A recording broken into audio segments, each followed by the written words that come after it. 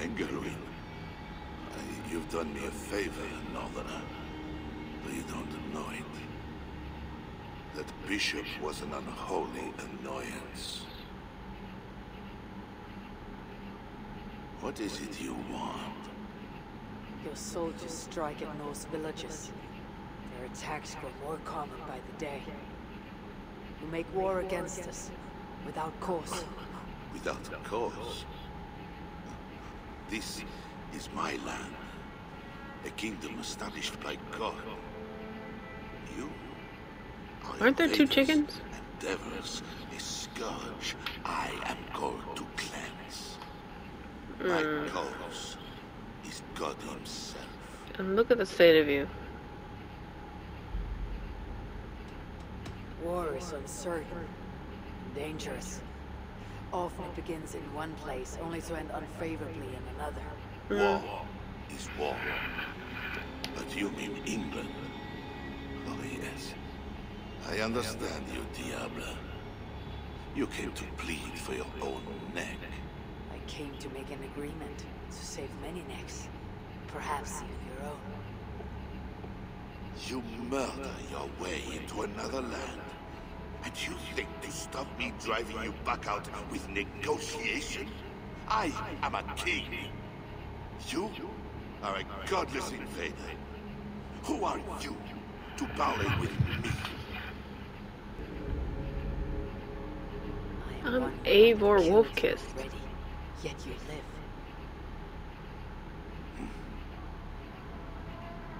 Perhaps this is opportune. What do you think? He is so gutsy over here, sitting here when I could kill him right now. It might well. There is something I require. If you accomplish it, I will be more open to consider your proposal. Mm. A deal within a deal. How like a king. What is this task? My queen, Nishalis, has been taken. I want her returned to me. I assume I must first find her. Mm-hmm. My spies tell me she was taken by those belonging to a zealous faction within the church.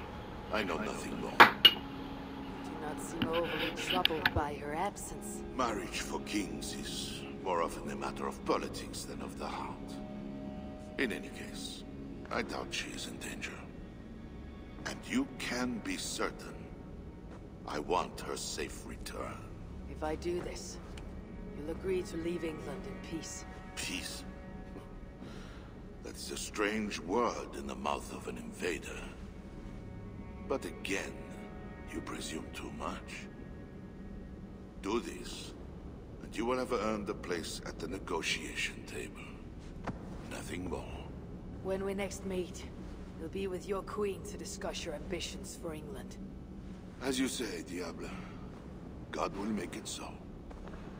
Now, you must excuse me.